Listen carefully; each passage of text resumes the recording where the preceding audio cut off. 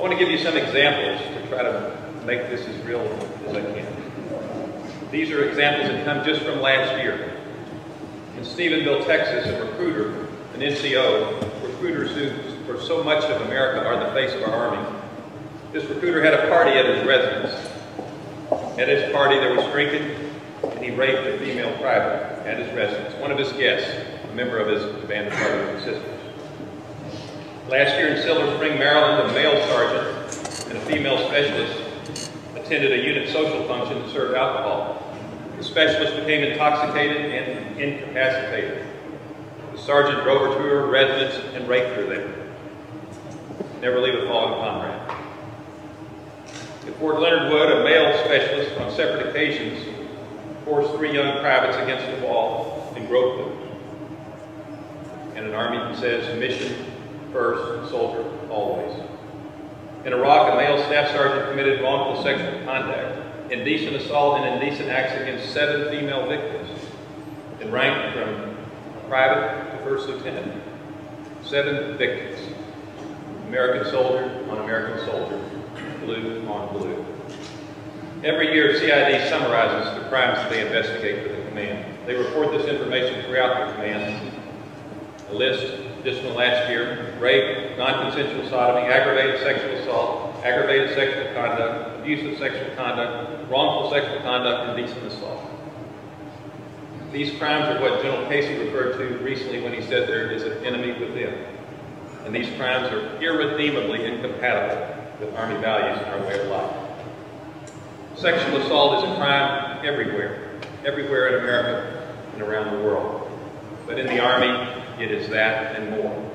It is an assault on the core values of every American soldier.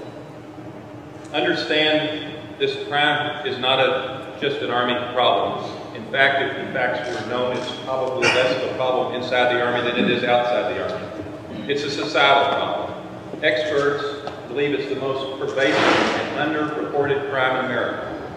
It's rampant on college campuses. It's a problem on your college campus, I can promise you it is. But the Army's different. We are a values-based organization. We are a values-driven institution. What, be, what society may be forced to tolerate, in the Army, we cannot let stand. Our Army values set us apart from society, set us apart from the culture on your campus. And because of Army values, we're going to solve this problem. And we are going to become the nation's model for sexual assault prevention. General Casey said recently, and I quote from him, respecting and protecting the dignity of others is the cornerstone of our institution. In preventing sexual assault and speaking out are the right thing to do. It's about leadership. It's about discipline. It's about building a band of brothers and sisters that can truly rely on each other. American soldiers work together as a team. They fight as a band of brothers and sisters. They're bound by Army values of duty and loyalty by selfless commitment to each other that outsiders find incomprehensible. A willingness to sacrifice or even die for each other if that's what it calls for. And that commitment runs to anybody that wears a uniform. In Iraq, that selfless commitment, that bond, led a 19-year-old soldier named Ross McGinnis to cover a grenade with his body to save the lives of his fellow soldiers. 19 years old. That's the age of many of the soldiers at Jubilee. He was a regular kid until he put on the uniform of the United States Army. In Afghanistan, that bond led 19-year-old medic PFC Monica Brown, a Texan, to throw her body on top of wounded soldiers to protect them from mortar and small arms fire and provide them life-saving medical care as shrapnel and bullets rained down around her and the soldiers she was protecting in the middle of an enemy ambush. She received a Silver Star for her heroism. The Silver Star citation repeats three separate times because they fell under attack three separate times. She used her body to shield the bodies from the shrapnel of those she was protecting. PFC McGinnis gave his life, and PFC Brown offered her life for their band of brothers and sisters. It's in this context that we must consider the crime of sexual assault. and ask ourselves, how can that crime coexist in our Army with the values that shape the decisions, shape the actions of Ross McGinnis and Monica Brown?